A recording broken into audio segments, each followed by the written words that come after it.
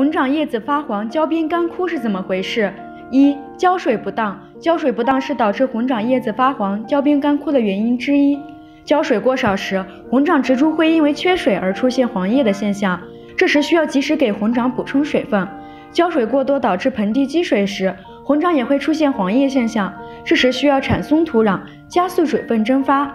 二、施肥不当。足够的营养物质是红掌生长的基础。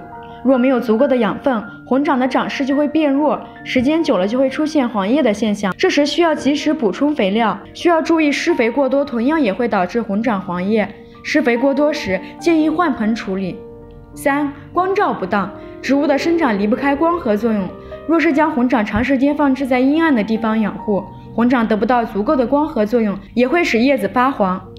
这时需要及时将红掌移放至光线明显的地方，而长时间强光照射同样会导致红掌叶子发黄。这时需要将植株移至阴凉的地方养护。